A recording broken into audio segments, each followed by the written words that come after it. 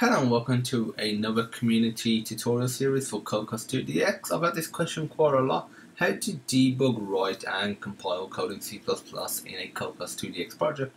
Well basically once you've got the project working in Eclipse for Android, the code compiles fine or uh, as long as you do the build underscore native.py um, command in terminal. But how do you edit code in there? Because if I just open up this project the classes folder is basically locked. And to edit it what you need to do is right click it go to properties then here location you want to click edit. Sorry about that. Then you want to click folder. Then you want to go to desktop or, or wherever your project is and go to the actual classes folder and then click open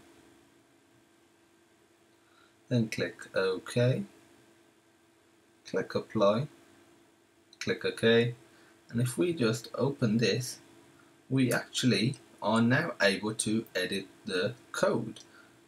It says a lot of errors like this. Um, Eclipse is just terrible for editing Cocos2d-x, but it's just one of those things. If you have a Mac, recommend getting Xcode even if you're going to do Android development just purely because the syntax highlighting is a lot better. And if you don't and you're on Windows try using Visual Studio or try using some other form of text editor. But, but that's it. That's what you need to do is go onto this link location and edit it. That's it for this tutorial and thanks for watching